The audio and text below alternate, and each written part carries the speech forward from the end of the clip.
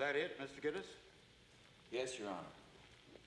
Was that Mr. Bodine's voice at the end saying, oh, no, you're not, Jake, I'm going to something or other? Yes, Your Honor. In what context was that statement made? Having his photos taken by my associate. And the I'm going to something or other? Your Honor, I believe that's when Mr. Bodine drew the gun and tried to stop us. What's he talking about? He wasn't even in the room. He's lying through his teeth. Isn't it a fact, Mr. Gittes, that you weren't even in the room? Objection, Your Honor. What for? To give Mr. Gittes time to come up with something to say? Mr. Hanna, if you have something to say, address the court. Objection overruled. You may answer the question, Mr. Gittes. Um, I'm certain that I was in the room. I'm not positive where I was when the shots were fired. Were you, Larry? Well, Jake, I was under the bed. Actually, I thought Berman did have the gun first, but I had no idea where he got it. Your Honor, I object to the witnesses engaging in this colloquy.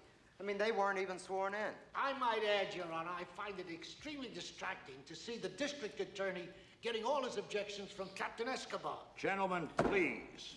Can we at least agree that there was a gun in the room? I agree. I Hope so, Your Very good. Now, to whom was the gun registered? To the uh, deceased, Mr. Mark Bodine.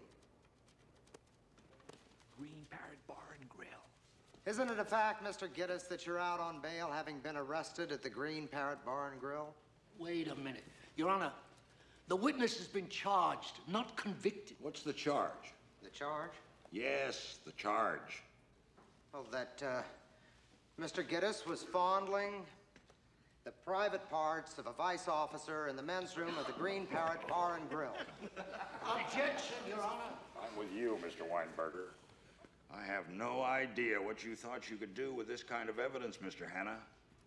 It certainly has no place in my courtroom. Do yourself a favor. The next time, you be sure you've got a case. That's about it for this hearing. Bailiff will have a short recess before considering the next matter.